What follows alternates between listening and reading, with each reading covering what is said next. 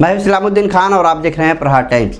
चीन को दहलाने के बाद अब कोरोना वायरस भारत में दस्तक दे चुका है। कोरोना वायरस के दो पेशेंट भारत में भी पाए गए हैं। कोरोना वायरस एक ऐसा वायरस है जो इतना भयानक है जिससे चीन में सैकड़ों लोगों की मौत हो चुकी है, मगर अब भारत में भी इसका खतरा बढ़ता जा रहा है। दुनिया के कई देशों में कोरोना वायरस को लेकर खतरा बना हुआ है। भारत में कोरोना वायरस के दो पेशेंट पाए जाने से हड़कंप मचा हुआ है। भारत में कोरोना वायरस के जो दो पेशेंट पाए गए हैं, उनमें से एक दिल्ली और दूसरा तेलंगाना में है। भारत सरकार अब कोरोना वायरस को लेकर सचेत हो गई है। मुंबई के इंटरनेशनल एयरपोर्ट पर विदेशों से आने वाले यात्रियों की मेडिकल स्क्रीनिंग की जा रही है। आपको बता दें कि 14 देशों से आने वाले यात्रियों की मेडिकल स्क्रीनिंग की जा रही है, जिसमें South Korea, China, Macau, Hong Kong, Vietnam, Thailand और अन्य कई देश शामिल है। भारत सरकार के तरफ़ से एडवाइजरी जारी की गई है कि आने वाले यात्रियों को अपना